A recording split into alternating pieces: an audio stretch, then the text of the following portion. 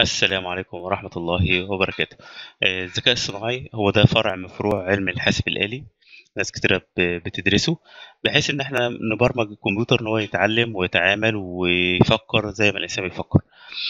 آآ يعني خلّينا نتكلم من زمان بقى من 20، 30 سنة آآ كانت لازم بتدّي ال الكمبيوتر معلومة وبعد كده تاخدها تاني، تدّي له معلومة وتاخدها تاني، ما فيش إن هو يبتكر حاجة جديدة.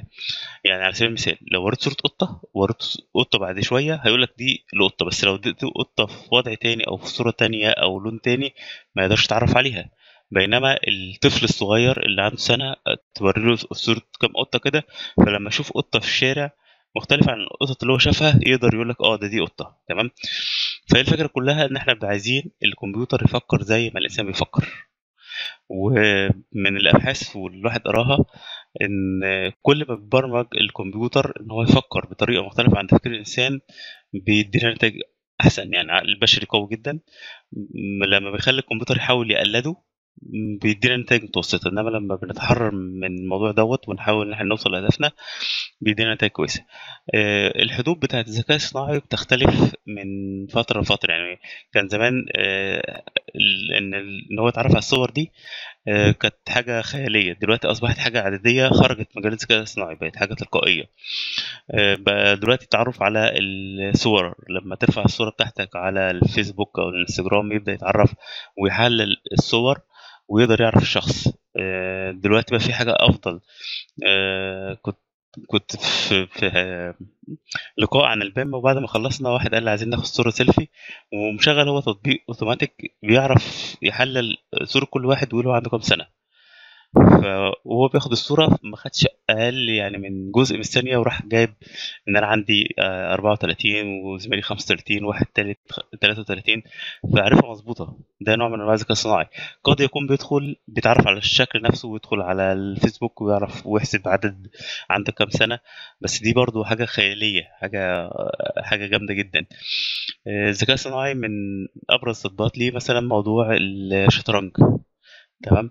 بدأوا يغذّوا ال ال الكمبيوتر بالألعاب وبدأوا يعلّموه إن هو يتعلّم مع نفسه، لو أنت قعدت تخزّن له ال الألعاب ده مش ذكاء صناعي، إنما أنت تخلّيه هو يتعلّم من كل مباراة، يعني بعد ما يخلّص المباراة يستفاد معلومات تانية، فلو أنت لعبت معاه بنفس الطريقة تلاقيه بي بياخد تكنيك مختلف، فده نوع من أنواع الذكاء الصناعي. من ضمن ال الحاجات برضه في الذكاء الصناعي، في لعبة ما برمجوش الكمبيوتر عليها، يعني ما قالوش اللعبة دي تتلعب إزاي، تمام؟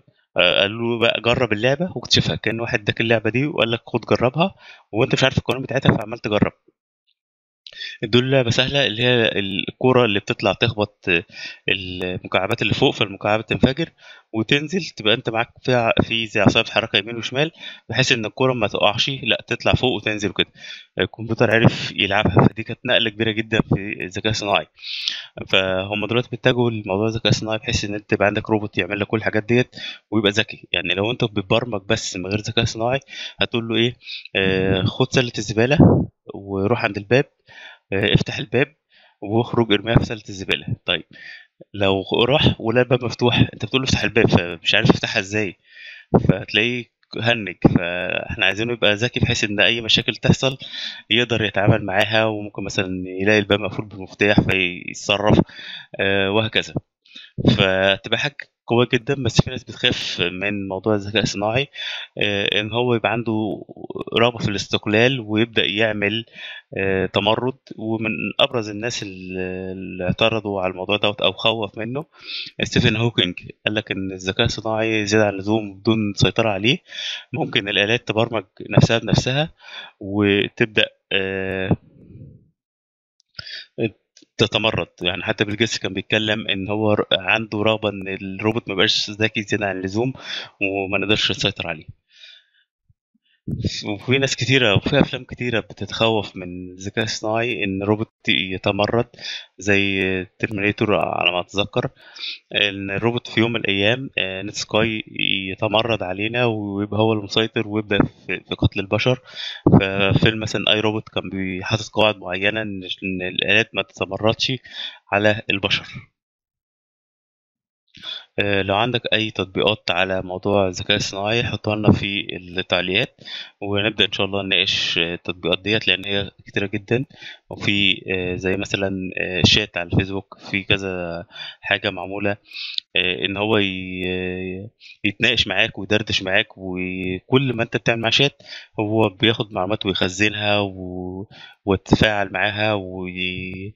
ومن غير ما حد يبرمجه تاني بتبدأ الأسك... الأجوبة بتاعته تبقى أشد ذكاء وذاخرة وهكذا.